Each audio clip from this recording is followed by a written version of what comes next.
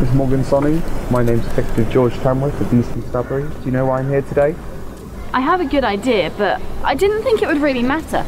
I mean, others had their horse boxes parked over the mother and child spaces. And anyway, it was 6am and Waitrose doesn't even open till at Miss least... Morgan Sonning, while I may not be able to shop at Waitrose, I am a parent and I understand getting frustrated at ignorant parkers. I'm sorry, okay? I promise... Miss Morgan Sonning, I'm not here to discuss parking at Waitrose. Do you know a Henry Edward Morgan? No, I don't. Miss Sonning, we can do this here or under caution at the police station. Do you know Henry Edward Morgan?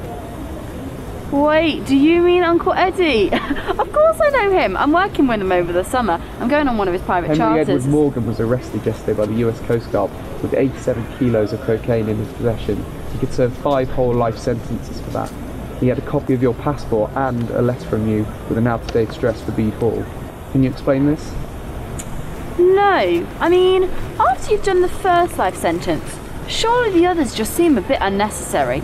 And as for Bede Hall, you can't really Miss stay Morgan there. Sonning, I'm not here to discuss the American penal system or the university's housing policy with you. Can you explain why he had a copy of your passport?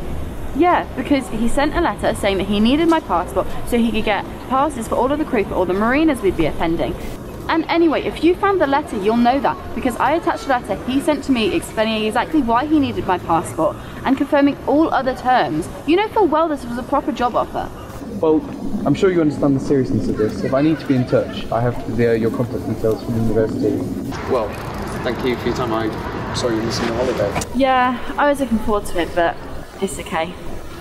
I'll probably be on my honeymoon anyway.